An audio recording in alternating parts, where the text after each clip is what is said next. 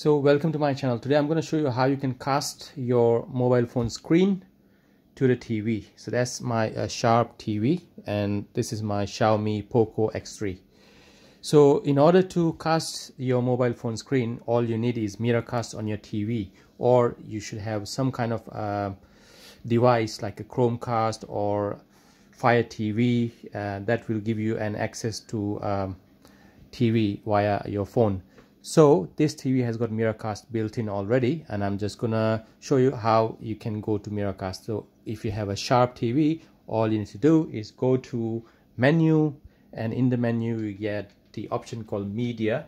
And in media you have the Miracast. Yeah so that's the thing. If you don't have Miracast you won't be able to cast your uh, mobile phone screen. Once you have Miracast just hit the Miracast uh, on your TV and your TV is ready for connection. So you need to start connection from your mobile. So I'll go into notification window on my Poco X3 it will be same for Redmi and all other uh, devices. Here I need to find an a feature called cast which is here. Cast like a TV symbol here. And now it's asking me to agree with the terms and condition which I'm going to do it now and then turn on.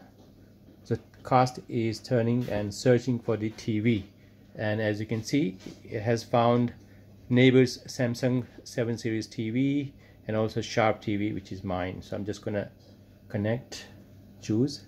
Now as you can see it's connecting connected to wireless devices. And it says please wait. So we'll just wait until we establish a full connection as you can see now the TV has got my phone's screen so I can basically go and explore a mobile phone on my TV so you can watch your videos you can uh, watch a picture of your browser whatever you want to do.